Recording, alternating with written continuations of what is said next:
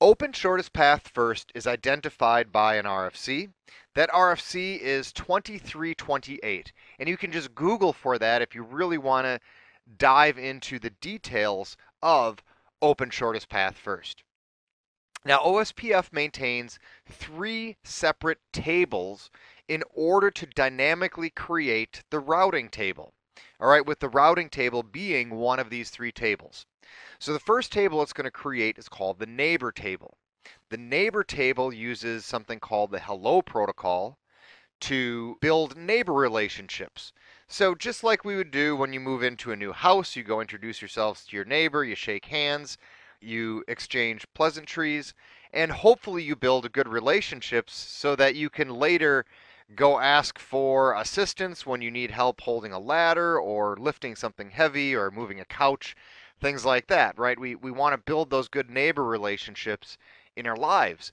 Well, OSPF, since it's a, a computer program and purely logical, when it builds neighbor tables, it's not really concerned about pleasantries. It's more concerned about if its neighbor is there or if it isn't there, if it's responding or not.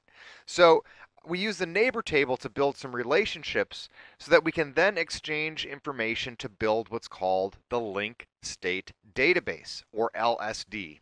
This is built by propagating another type of packet called an LSA or link state advertisement. And that link state advertisement is propagated between the neighbors. So we propagate these LSAs, and the LSAs contain information about the network links that our routers know about. So what the LSA is going to do is it's going to send out information about the links that the router knows about. I have a, I have a graphic for this in a moment. And then what happens is we use the link state database, we take that, run an algorithm against it called Dijkstra's algorithm or the shortest path first algorithm, and that builds the routing table.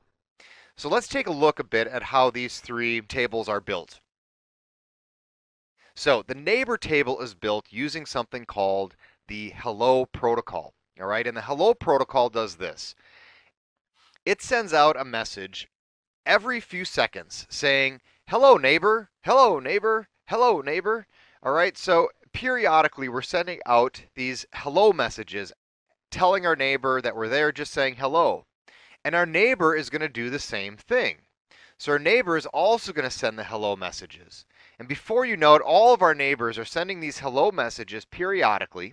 Now, fortunately, these hello messages are very tiny, but what these messages do is they maintain the state of our neighbor table. So as long as a router is receiving hellos from its neighbor, and the hellos are fashioned in the appropriate manner, we will build a neighbor adjacency or a neighbor relationship with another router. So in this case, router 2 is neighbors with router 1 and router 3. Router 3 is neighbors with router 2 and router 1. And router 1 is neighbors with router 2 and router 3. So once the neighbor table is built and we have neighbor relationships, we can then send out link state advertisements. Now a link state advertisement is a packet that contains information about the networks that are directly connected to the router that's advertising. All right, so in the case of router 2 here, router 2 can send out an LSA about network 10.0.8.0.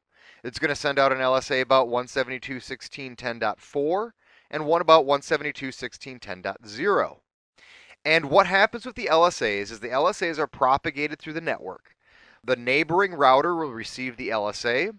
It will add the information into its link state database, and then it will increment a sequence number and forward the LSA onto the next router that it is neighbored with, or all of its neighbors actually. When router 3 then receives this, it's going to forward it on back to router 2. Router 2 will look at the sequence number and see that it's actually the LSA that it had sent out originally and throw it away. But what's happening here is these LSAs are going to be propagated from all the routers to all the neighbors, and they're going to advertise information about all of the networks that are directly connected to the router. This is the key to dynamic routing. In dynamic routing, we want to have our router advertise to other routers which networks we can reach. And we're going to let the nature and the topology of the network allow our other routers to build their link state database and then figure out how to reach us. This is in contrast to static routing, where in static routing, we are actually building routes for networks that our router does not know how to reach. So in static routing, we are going to figure out how to reach networks that we don't know about. If we're on router 2 here, remember we have to build the static route to reach network 10.0.10.0. In dynamic routing, we tell the router which networks we want to advertise, and then the routing protocol tells the other routers about it. So once the link state database is created through these LSAs, we then run the shortest path first algorithm, or Dijkstra's algorithm, against it, and that builds the routing table. In our routing table, we can see our OSPF routes here. They have an O in front of them. And remember, OSPF has an administrative distance of 110. So once our routing table is built, then we can begin routing packets. Let's take a look at the network diagram we're going to configure here.